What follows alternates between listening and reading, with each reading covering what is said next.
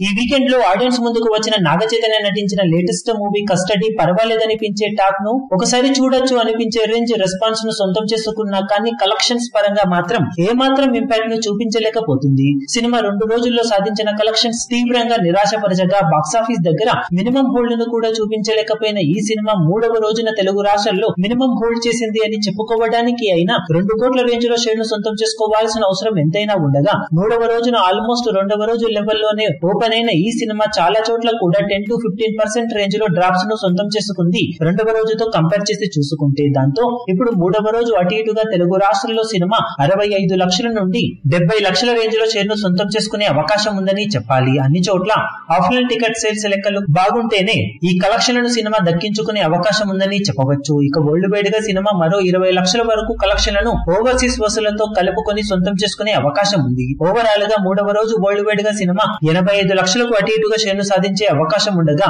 Cinema అందుకోవాల్సిన target దృష్ట్యా ఈ collections అసలు దరిదాపుల్లోకి వెళ్ళడానికి కూడా సరిపోవనే చెప్పాలి. వీకెండ్లోనే సినిమా పరిస్థితి ఇలా ఉంటే వర్కింగ్ డేస్లో ఇక ఎలా ఉంటుందనేది ప్రశ్నార్థకంగా మారింది. మొత్తం మీద సినిమా వీకెండ్లో సాధించే అఫీషియల్ కలెక్షన్ల వివరాలు ఏ విధంగా ఉంటాయో చూడాలి ఇప్పుడు. వీడియో మీకు నచ్చినట్లయితే లైక్ చేయండి షేర్ చేయండి ఛానల్ను సబ్స్క్రైబ్ చేయడం మాత్రం మరవకండి. ఏ చిన్న అప్డేట్ను మిస్ అవ్వకూడదు అనుకుంటే బెల్ ఐకాన్ను ప్రెస్ చేయండి.